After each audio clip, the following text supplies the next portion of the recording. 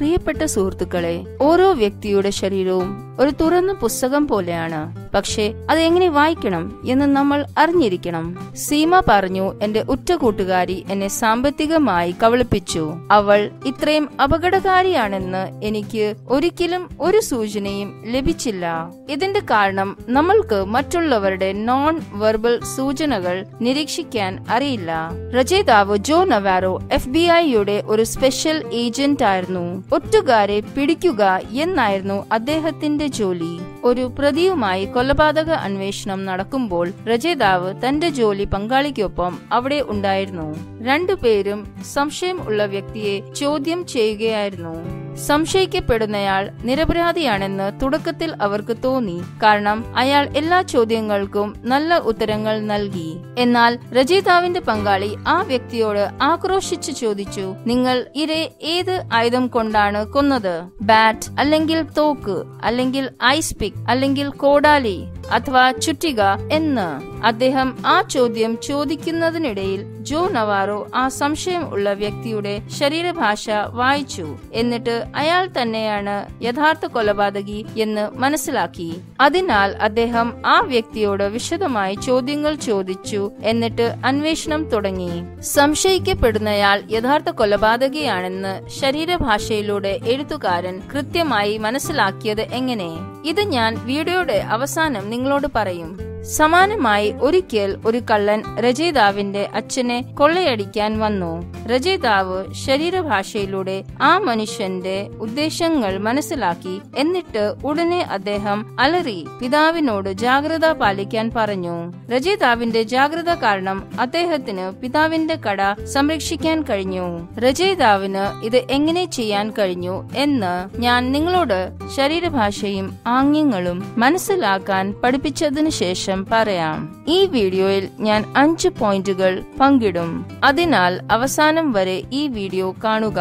അതിനുശേഷം നിങ്ങൾക്ക് ഇതെല്ലാം സാധ്യമാവും. ഒന്ന് ഇനി ഡേറ്റിംഗ് വിവാഹം ജോലി കുടുംബം എന്തുമാകട്ടെ പ്രശ്നങ്ങൾ ഒഴിവാക്കാനും നിങ്ങളുടെ ജീവിതം കൂടുതൽ സഫലമാക്കാനും ഇത് നിങ്ങളെ സഹായിക്കും. രണ്ട് നിങ്ങൾക്ക് ആളുകളുടെ ചിന്തകളും വികാരങ്ങളും ഉദ്ദേശങ്ങളും വായിക്കാൻ കഴിയും. മൂന്ന് പരസ്പരം ബന്ധങ്ങളെ സമ്പന്നമാക്കാൻ കഴിയും. നാല് കുറ്റവാളികളിൽ നിന്നും ഭയാനകമായ സാഹചര്യങ്ങളിൽ നിന്നും സ്വയം രക്ഷിക്കാൻ കഴിയും. അഞ്ച്.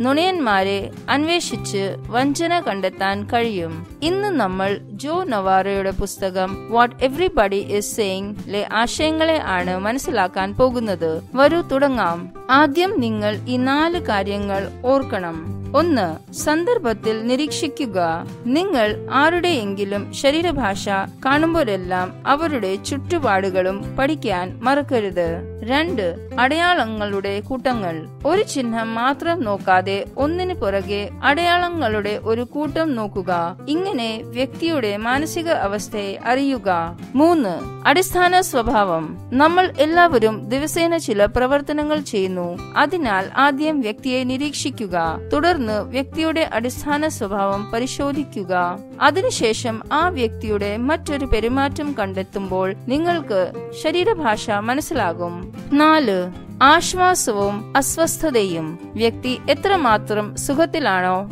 അസ്വസ്ഥതയിലാണോ എന്ന് മനസ്സിലാക്കാൻ ശ്രമിക്കുക. സുഖപ്രദമായ അർത്ഥം വ്യക്തി സന്തോഷത്തോടെയും ആത്മവിശ്വാസത്തോടെയും പിരിമുറുക്കം ഇല്ലാതെയും ഇരിക്കുകയെന്നാണ് അസ്വസ്ഥത എന്നർത്ഥം വ്യക്തി ഭയപ്പെടുന്നു എന്തെങ്കിലും മറയ്ക്കാൻ ആഗ്രഹിക്കുന്നു എന്ന് ആണ്. ഇനിയും ശരീരഭാഷ എവിടെ നിന്ന് വരുന്നു എന്ന് നോക്കാം. ഇത് തലച്ചോറിന്റെ ഭാഗമായ ലിംബിക് സിസ്റ്റമിൽ നിന്നാണ് അവിടെ നിന്ന് നമ്മുടെ ശരീരഭാഷ നിയന്ത്രിക്കപ്പെടുന്നു. ലിംബിക് സിസ്റ്റം നമ്മുടെ ബോധമുള്ള തലച്ചോറിൽ നിന്ന് പുറത്താണ്.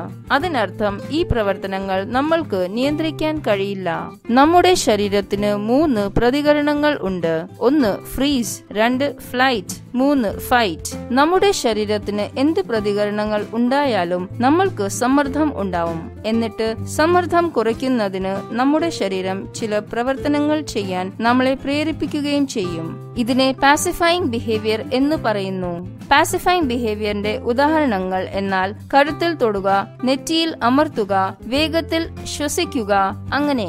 ഈ സ്വഭാവങ്ങൾ നമ്മുടെ ശരീരത്തിലെ അഞ്ച് ഭാഗങ്ങളിൽ കാണാൻ കഴിയും. ഒന്ന് പാദങ്ങളും കാലുകളും. രണ്ട് ടോർസോ ശരീരത്തിന്റെ മുകൾ ഭാഗവും നെഞ്ചും തോളും. മൂന്ന് കൈകൾ മേൽവശം. നാല് കൈകളും വിരലുകളും. അഞ്ച് മുഖം. കുട്ടിക്കാലം മുതൽ തന്നെ നമ്മൾക്ക് മുഖം കൈകാര്യം ചെയ്യാൻ പരിശീലനം കിട്ടും. ആരെയും ദേഷ്യപ്പെട്ടു നോക്കരുത് മുഖം ചുരുക്കരുത് അങ്ങനെ. എന്നാൽ പലരും അവരുടെ പാദങ്ങളിൽ ശ്രദ്ധിക്കുന്നില്ല. അവരുടെ പാദങ്ങൾ അവരുടെ വികാരങ്ങളെക്കുറിച്ച് സത്യം സംസാരിക്കും. അതിനാൽ നമ്മൾക്ക് ആദ്യം കാലിൽ നിന്ന് ആരംഭിച്ച് മുകളിലേക്ക് നീങ്ങാം. ഒന്ന് ഹാപ്പി ഫീറ്റ്. പാദങ്ങളും കാലുകളും കുതിക്കുന്നു അല്ലെങ്കിൽ മുകളിലേക്കും താഴേക്കും വശത്തേക്കും ചലിക്കുന്നു. ഇത് വളരെ പോസിറ്റീവായ ഒരു വികാരത്തെ കാണിക്കുന്ന ശരീരഭാഷയാണ്. വേർപിരിയലിന് ശേഷം പരസ്പരം കാണുന്ന പ്രേമികൾക്ക് ഹാപ്പി ഫീറ്റ് കിട്ടും. നിങ്ങൾക്ക് ഇത് കാണണമെങ്കിൽ ഒരാളുടെ തോളിലോ ഷർട്ടിലോ നോക്കുക. അവ മുകളിലേക്കും താഴേക്കും വൈബ്രേറ്റ് ചെയ്യുന്നത് കാണാം. രണ്ട് പാദത്തിന്റെ ദിശ. നമ്മുടെ പാദങ്ങൾ ഏത് ദിശയിലേക്ക് ചൂണ്ടുന്നതോ നമ്മൾ ആ ദിശയിലേക്കാണ് പോകാൻ ആഗ്രഹിക്കുന്നത്. നിങ്ങളോട് സംസാരിക്കുന്ന വ്യക്തിയുടെ പാദങ്ങൾ നിങ്ങളുടെ ദിശയിൽ അല്ല. മറിച്ച് വാതിലിനടുത്ത് ആണെങ്കിൽ അതിനർത്ഥം ആ വ്യക്തി നിങ്ങളോട് സംസാരിക്കാൻ താല്പര്യപ്പെടുന്നില്ല എന്നാണ്. മൂന്ന് ലെഗ്സ് സ്പ്ലൈ. ഇതിനർത്ഥം കാലുകൾ അല്പം അകലെ വെക്കുക എന്നതാണ്. ഇത് കാണിക്കുന്ന വ്യക്തിക്ക് സാഹചര്യത്തിന്മേൽ നിയന്ത്രണം ഉണ്ടെന്നും അയാൾ പ്രബലനായി കാണിക്കപ്പെടുന്നുവെന്നും മനസ്സിലാക്കാം. നാല് നടത്തുശൈലി നടക്കുമ്പോൾ ആരെങ്കിലും ചെറുതായി കുതിക്കുന്നത് കണ്ടാൽ അയാൾ വളരെ സന്തോഷത്തിൽ ആണ് എന്ന് അർത്ഥം. വേഗത്തിൽ നടക്കുന്നത് ആവേശഭരിതരോ അല്ലെങ്കിൽ അക്ഷമനോ അല്ലെങ്കിൽ തിരക്കിലാണെന്നോ മനസ്സിലാക്കാം. വ്യക്തി മന്ദഗതിയിൽ ചിന്തിച്ചുകൊണ്ട് നടക്കുകയാണെങ്കിൽ ആ വ്യക്തി വിഷാദത്തിലാണെന്ന് ഇത് കാണിക്കുന്നു. അഞ്ച് നീ ക്ലാപ്സ് ഒരു വ്യക്തി തന്റെ രണ്ട് കൈയും കാൽമുട്ടിനടുത്ത് വെക്കുകയും ചെറുതായി മുന്നോട്ട് ചായുകയും ചെയ്യുമ്പോൾ ഈ അവസ്ഥയിൽ നിന്ന് വളരെ വേഗത്തിൽ പുറത്തു കടക്കാൻ ആഗ്രഹിക്കുന്നു എന്നതാണ്. ഇനിയും രണ്ടാമത്തെ ശരീരഭാഗം ടോർസോയുടെ ശരീരഭാഷ മനസ്സിലാക്കാം. നമ്മൾക്ക് സന്തോഷം തോന്നുമ്പോൾ നമ്മുടെ മുൻഭാഗം നമ്മൾ സംസാരിക്കുന്ന വ്യക്തിയുടെ അടുത്തേക്ക് നീങ്ങും. ഈ സാഹചര്യത്തെ വെൻട്രൽ ഫ്രണ്ടിംഗ് എന്ന് പറയും. ചില കാരണങ്ങളാൽ നമ്മൾ ദുഃഖിതരോ അസ്വസ്ഥരോ ആവുകയോ ചെയ്യുമ്പോൾ നമ്മുടെ മുൻഭാഗം നമ്മൾ സംസാരിക്കുന്ന വ്യക്തിയിൽ നിന്ന് അകന്നു പോകുന്നു. ഇതിനെ വെൻട്രൽ ഡിനൈയിങ് എന്ന് പറയുന്നു. ചില ആളുകൾ സംസാരിക്കുമ്പോൾ മുന്നോട്ട് ചായുന്നത് നിങ്ങൾ കണ്ടിട്ടുണ്ടാവാം. ഇതിനർത്ഥം അവർക്ക് വിഷയത്തിൽ താല്പര്യമുണ്ടെന്നും അല്ലെങ്കിൽ പരസ്പരം താല്പര്യം ഉണ്ടെന്നുമാണ്. ടോർസോ ഷീൽഡ് ഒരു പ്രതിരോധ ഭാവം ആണ്. എപ്പോൾ ഒരു വ്യക്തി അവരുടെ നെഞ്ചിനു മുന്നിൽ ബാഗോ പുസ്തകമോ ന്യൂസ് പേപ്പറോ അല്ലെങ്കിൽ മൊബൈൽ ഫോണോ മറ്റോ വെക്കുകയാണെങ്കിൽ അതിന്റെ അർത്ഥം അവർക്ക് സംസാരിക്കാൻ താല്പര്യം ഇല്ല എന്നാണ്. ആളുകൾ യുദ്ധം ചെയ്യാൻ തയ്യാറാകുമ്പോൾ അവരുടെ നെഞ്ച് വികസിക്കുകയും പുറത്തേക്ക് വെക്കുകയും തോളുകൾ പിന്നിലേക്ക് വലിക്കുകയും ചെയ്യുന്നത് നിങ്ങൾ കണ്ടിട്ടുണ്ടാവാം. ഇതൊരു ആക്രമണാത്മക അടയാളമാണ്. ആളുകൾ അവർക്ക് എന്തെങ്കിലും അറിയില്ല എന്ന് പറയാൻ ശ്രമിക്കുമ്പോൾ അവർ തോളുകൾ ചുരുക്കും. പക്ഷേ ചിലപ്പോൾ അവർ എന്തെങ്കിലും അറിയുന്നത് നിഷേധിക്കുമ്പോൾ തോളുകൾ ചുരുക്കാറില്ല. ഇതിന്റെ അർത്ഥം ആ വ്യക്തിക്ക് ഈ കാര്യത്തെക്കുറിച്ച് കുറച്ച് ധാരണയുണ്ടെങ്കിലും നിങ്ങളോട് പറയാൻ ആഗ്രഹം ഇല്ല എന്നാണ്. അതിനാൽ ഈ അടയാളത്തിനായി പരിശോധിക്കുക. ചിലപ്പോൾ ആളുകളുടെ തോൾ കഴുത്തു മറച്ചുകൊണ്ട് ചെവികളുടെ വളരെ അടുത്ത് വരും. ഇതിനെ ടർട്ടിൽ പോസ് എന്ന് വിളിക്കുന്നു.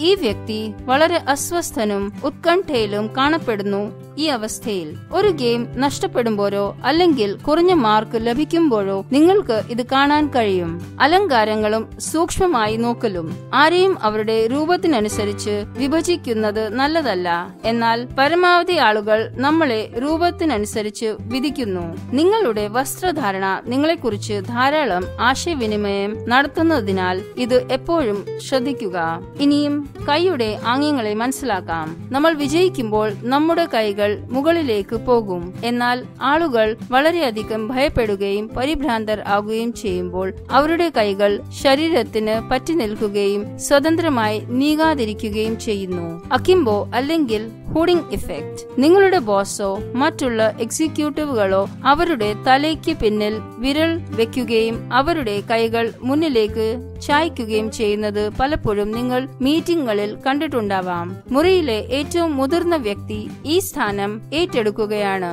ഒരു ആധിപത്യ സ്ഥാനമായി ഇത് കാണപ്പെടുന്നു. മറ്റൊരു പ്രധാന പോസ് നിങ്ങളുടെ കൈകൾ കഴിയുന്നിടത്തോളം പരത്തുക എന്നതാണ്. ചില ആളുകൾ ഒരു കസേരയിൽ ഇരുന്ന് വശത്തെ കസേരകളിൽ കൈകൾ വിരിച്ചു ഇരിക്കും ഒരു ആധിപത്യ സ്ഥാനമായി ഇത് കാണപ്പെടുന്നു. മികച്ച വക്താക്കൾ എന്തെങ്കിലും വിശദീകരിക്കുമ്പോൾ അവരുടെ കൈകൾ നീങ്ങും. നിങ്ങൾ സംസാരിക്കുന്നതിൽ നിങ്ങൾക്ക് വിശ്വാസം ഉണ്ട് എന്ന് കാണിക്കുന്നു. മറിച്ച് നിങ്ങളുടെ വിരലുകൾ മറച്ചാൽ അത് വളരെ മോശമായ ഒരു മതിപ്പ് നൽകുന്നു. നിങ്ങൾ എന്തെങ്കിലും മറയ്ക്കാൻ ശ്രമിക്കുകയാണെന്നോ അല്ലെങ്കിൽ നിങ്ങൾക്ക് ആത്മവിശ്വാസക്കുറവാണെന്നോ ഇത് കാണിക്കുന്നു. രണ്ടു കൈകളും അരക്കെട്ടിന് മുകളിൽ സൂപ്പർമാനെ പോലെ സൂക്ഷിക്കുന്നത് ആധിപത്യത്തിന്റെയും അധികാരത്തിന്റെയും സൂചന നൽകുന്നു. ഹാൻഡ് ഷേക്കുകൾ ഏറ്റവും ആധിപത്യമുള്ള ഹാൻഡ് ഷേക്കുകൾ നിങ്ങളുടെ കൈകൾ മറ്റൊരാളുടെ കൈകൾക്ക് മുകളിലായിരിക്കുമ്പോഴും നിങ്ങളുടെ കൈപ്പത്തികൾ താഴേക്കായിരിക്കുമ്പോഴും ആണ്. അഞ്ച്. മുഖത്തിന്റെ നോൺ വെർബൽസ് കണ്ണുകൾ.